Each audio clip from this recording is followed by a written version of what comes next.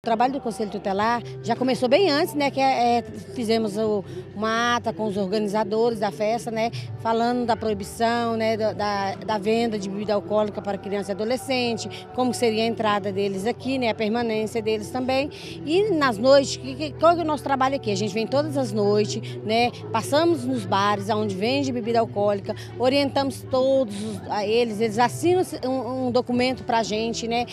É, que eles estão cientes de que não deve vender bebida e nem, nem dar, né? Que é fornecer, que a gente fala gratuitamente, que é proibido, é crime. Então, assim, que eles fiquem alertos, que eles é, peçam a documentação quando for vender, se eles tiverem a dúvida, né? Se, porque hoje os, a, os adolescentes estão tão grandes, né? Que acaba passando por um adulto, né? Então, assim, que eles peçam a documentação, se tem a dúvida, peça a documentação, né?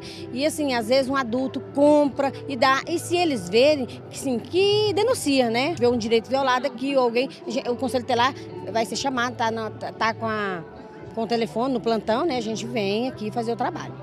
Bom, e é importante a gente mencionar, Delma, também, né, aquelas situações em que a gente sabe que hoje em dia a gente acaba vendo de tudo, em que o próprio pai autoriza o menor a beber. Só que, mesmo o pai autorizando, o menor não tem essa permissão para estar tá consumindo bebida alcoólica. De maneira nenhuma. Criança e adolescente não bebe, né? É proibido, é crime. E se o pai, se for o pai que estiver é, autorizando, ele vai responder criminalmente. Ou seja, todo mundo tendo sua consciência para que as crianças e adolescentes permaneçam no local e, claro, com a maior segurança possível. Isso, que se divirta, né? A noite está boa, assim, e que todos eles cuidem da criança e do adolescente, né, na festa.